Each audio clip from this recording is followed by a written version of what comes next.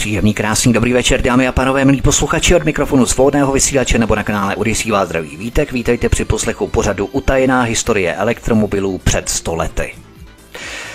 Před 100 lety byly elektromobily nejoblíbenějším automobilem na světě. Na konci 19. a na začátku 20. století předčily všechny ostatní typy automobilů. A přesto během několika desetiletí od začátku 20. století elektromobily zmizely. Z ulic zmizely tisíce vozů poháněných bateriemi, které nahradil spalovací motor a jejich místo v historii automobilismu bylo v tichosti vymazané. O sto let později se elektromobily vracejí. Dnešní pořad jsem se rozhodl natočit jako pokračování mého programu, který jsem vysílal před více jak rokem a půl. Tam jsem položil základy elektromobilismu před jedním stoletím. Ovšem mezi tím jsem se dostal k podrobnějším informacím, které jsou skutečně fascinující. V tomto pořadu představím kompletní historii elektromobilů. Podívám se také na klíčové postavy v historii vývoje elektromobilů, jako byl například Henry Ford. Nebudu postupovat až do současnosti, protože to si každý může vyhledat sám. Informací o současných elektromobilech je přehršel, ovšem o jejich začátcích před sto lety je zpráv minimum. Tato část minulosti elektromobilů byla postupně vymazaná z našeho kolektivního vědomí.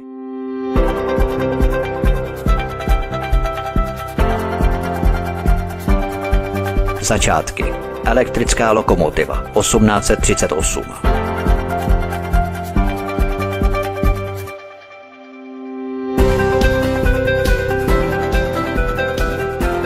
Na počátku 20. století se automobilový průmysl teprve rodil.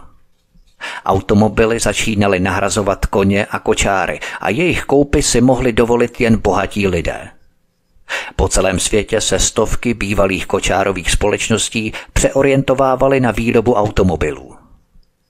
Na nově vznikajícím trhu spolu soupeřily tři technologie pohonu, ale zdálo se, že vítězí pouze jedna – Nabízela průkopnickým motoristům nejtižší a nejplynulejší pohon. Poháněla automobily, které dosáhly rychlostního rekordu. Snadno se startovala. Automobily, které ji používali, se řídily tak jednoduše, že se s nimi dokázal během několika hodin seznámit téměř každý. Navíc palivo, které používala, bylo levné a široce dostupné v celém rozvinutém světě. Přes tyto zdánlivě bezkonkurenční výhody se elektromobilu nepodařilo zaujmout kupující veřejnost. Jeho neúspěch ponechal řidičům jedinou možnost – spalovací motor. Role, kterou elektromobily hrály v počátcích vývoje automobilů, byla z velké části vymazaná z historie lidstva. Zůstalo jen několik zdrnitých černobílých fotografií automobilů, které kdysi dávno vládly silnicím. O sto let později je elektromobil opět na vzestupu. Proč se ale elektromobily v prvních letech 20. století navzdory svým počátečním výhodám neuchytily? A jak to, že vývoj elektromobilů postupoval mnohem rychleji než konkurenční technologie spalovacích a parních motorů, aby se nakonec zcela zastavil? Počátky elektromobilů jsou plné příběhů o prodavačích hadího oleje, pochybných spekulantech a patentových podvodů. Motoristé, kteří uvízli na míle daleko s vybitou baterií, měli dobrý důvod k rozčílení, když jejich vůz nedosáhl slibovaného dojezdu. Henry Ford, jehož manželka používala elektromobil, byl tak znepokojený špatnou spolehlivostí baterií, že dokonce postavil nabíjecí stanici, aby měl jistotu, že se jeho žena vždycky dostane domů. Přes všechny své nevýhody ale mají elektromobily mnoho dobrých stránek. Všechno začalo baterií. Za objevitele moderní baterie je považovaný italský chemik a vynálezce Alessandro Volta. Volta se narodil v italském městě Como a byl profesorem fyziky na tamní královské škole. V roce 1775 převzal vynález švédského profesora Johanna Karla Wilkeho a zdokonalil ho tak, že vytvořil přístroj, který nazval elektrofor. Přístroj se skládal z dielektrické desky z pryskyřičného materiálu a kovové desky s izolovanou rukojetí.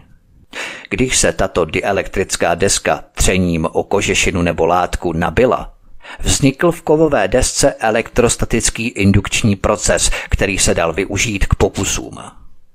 Volta byl fascinovaný potenciálem elektřiny. Věnoval se průkopnické práci v oblasti tzv. elektrické kapacity. Vyvinul prostředky pro studium potenciálu i náboje. Experimentoval také s velmi primitivním zapalovacím systémem, kdy spaloval etan pomocí elektricky generované jiskry.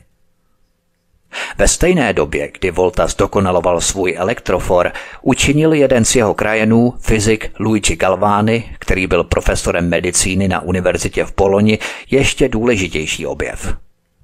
Podle Galványho poznámek se jeho asistent při provádění statické elektřiny na žábě stažené z kůže omylem dotkl ocelovým skalpelem krčního nervu zvířete a vytvořil elektrický náboj.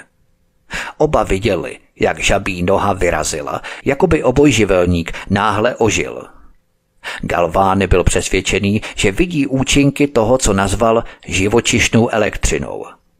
Jeho pokusy vedly mnoho lidí v té době k závěru, že elektřinu lze nějakým způsobem využít k oživení mrtvých. Tato teorie oživování se stala inspirací pro slavný román Mary Shelleyové Frankensteina. Volta ale nebyl přesvědčený o tom, že živočišná tkáň je pro vedení elektřiny nezbytná.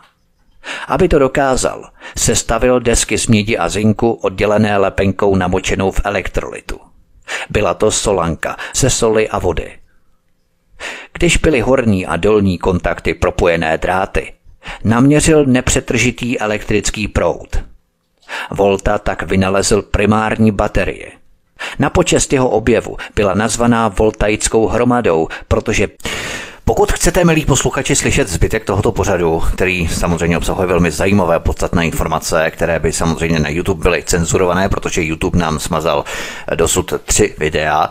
A pokud chcete tedy slyšet zbytek tohoto pořadu na necenzurované a svobodné platformě, prosíme, zaregistrujte se na kanál Odyssey, jehož odkaz máte tady na YouTube v popise pořadu. Když si jdete dolů, tak tam máte popis pořadu a tam je odkaz na kanál, na kterém přímo zvolte dvě tlačítka. Tlačítko sledovat, respektive respektive follow, může to být v angličtině, češtině nebo slovenštině, ale také zvolte tlačítko zapnout oznámení, respektive turn on notifications. Je to druhé tlačítko, které vás samozřejmě upozorní na pořady, na prohlížeči, na nové pořady, které na tomto kanálu budeme postupně publikovat. Takže prosíme, neváhejte, YouTube je zcela zabitý a nebude tady už nic. Postupně tam migrují všechny platformy, všechny alternativní svobodné necenzurované platformy, takže prosím připojte se k nám, ke všem kanálům a ke všem uživatelům, kteří už před vámi utekli na Odyssey. Přejdete se k nám také. Budeme velmi rádi a budeme se na vás těšit na Odyssey. Hezký den.